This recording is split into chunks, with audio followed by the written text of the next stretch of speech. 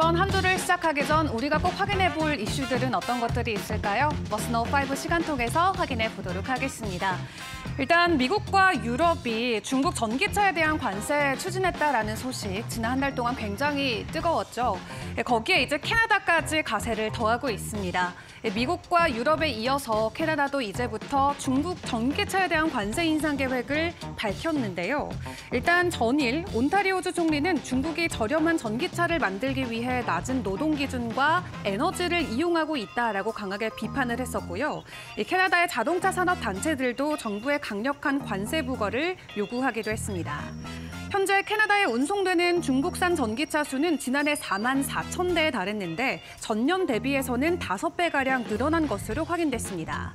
테슬라가 상하이에서 만든 모델 Y 차량을 캐나다로 운송하기 시작하면서 중국 제조 비중이 올라간 것으로 확인이 됐는데 일단 이러한 추세가 계속될 경우 테슬라 외에도 중국산 저가 전기차가 시장에 넘쳐날 것을 캐나다 측은 우려하고 있습니다.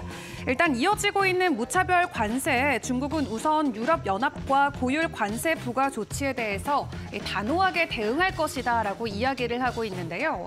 일단 이렇게 무차별적으로 고세율의 관세가 진행이 되면은 모두에게 출혈 사태가 이어질 수 있는 만큼 적정선에서 함께 타협을 봐야 된다라는 시장의 우려감도 있습니다. 다음 소식 확인해 보도록 하겠습니다. 또 주말 사이 전해진 소식이죠. 애플이 야심차게 준비한 애플의 인텔리전스 본격적으로 출발하기 전부터 벌써 난항들이 펼쳐지고 있습니다. 일단 유럽에서는 AI를 탑재한 아이폰이나 애플의 device 출시가 어려워 보이는데요. 유럽의 디지털 시장법에 따라서 데이터 보안을 해칠 수도 있다라는 이유로 애플은 애플 인텔리전스를 유럽에 당분간 출시하지 않기로 발표했습니다. 유럽의 AI법은 올해 12월부터 CCTV 안면 인식의 실시간 사용 금지와 같은 고위험 AI 규제를 시작으로 내년 5월부터는 일반 목적의 AI 모델의 보고 의무가 시작이 되는데요. 상품에 포함된 AI 규제는 2027년부터 적용이 되고요. 내년 5월부터는 오픈 AI나 구글 또 네이버가 만들고 있는 생성형 AI foundation model이 생성하는 내용과 학습 데이터를 공개해야 합니다. 이 AI에 대한 어려움은 유럽에서만 있는 것은 아닌데 아이폰 판매가 부진했던 중국에서도 애플은 동일한 어려움을 겪고 있습니다. 예, 중국 같은 경우는 챗 GPT를 금지하고 있기 때문에 애플의 새로운 AI intelligence 발표가 어려운 상황이고요. 예, 그런 가운데 애플은 메타와 함께 손을 잡고 메타의 생성형 AI 모델을 통합하는 방안을 논의하고 있는 것으로 확인되고 있습니다. 뿐만 아니라 구글이나 AI 스타트업인 Anthropic과 같은 다양한 업체와도 접촉을 이어가고 있는 것으로 확인되고 있는데요. 일단 애플에게는 빨간불이 켜졌지만 on-device AI를 출시하고 있는 삼성 쪽에는 되려 호재로 적용될 수 있다는 분석도 나오고 있습니다. 이 AI device를 놓고 최강자의 자리에는 누가 오르게 될지 시장 분위기 계속해서 확인해 보시죠.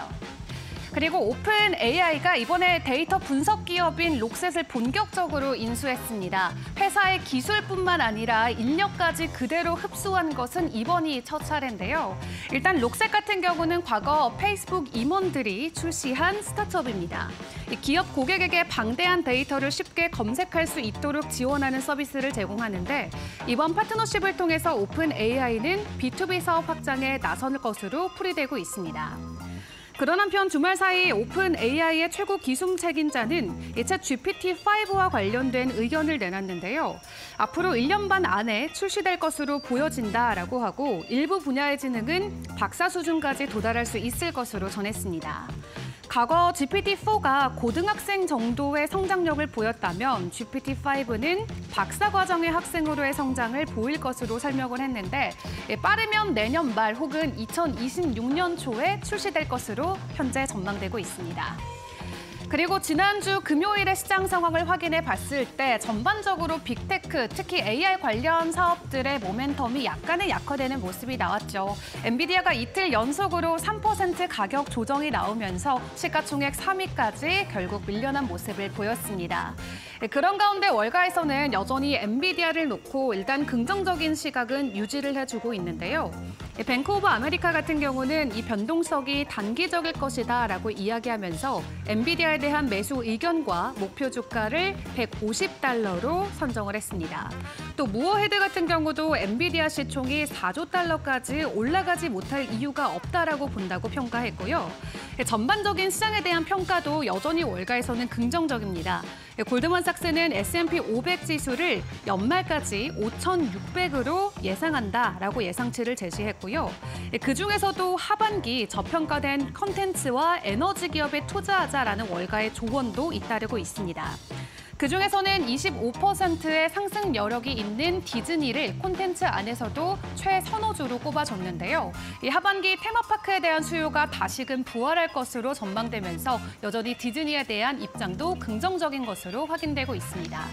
그리고 에너지주 안에서는 쉐브론이 가장 선호주로 꼽혔는데 향후 1년 안으로 주가가 20% 정도 오를 가능성이 있다라고 월가에서는 평가하고 있습니다.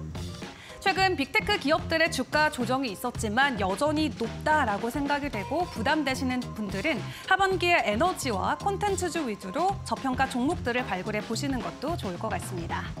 마지막으로 암호화폐 시장 상황 확인을 해보도록 하겠습니다.